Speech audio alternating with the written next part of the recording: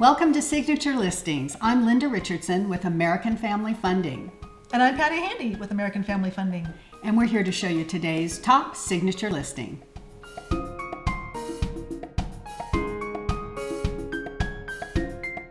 Luisa Ramos with Century 21 Peak Real Estate has a beautiful listing at 4950 Bascule Avenue in Woodland Hills.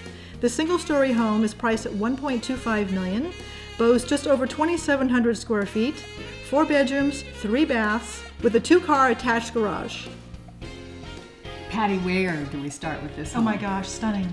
Stunning, stunning It's home. beautiful. And located south of the boulevard in Woodland Hills, which is a beautiful area. Beautiful location. It's not often that you see a single story just over 20 or 2,700 square feet. Right.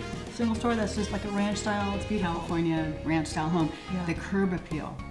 Gorgeous. Gorgeous, gorgeous curb appeal. Very, very pretty. It's very bright, very clean, uh, lots of natural light, which is all very stunning and, and just very warm and inviting.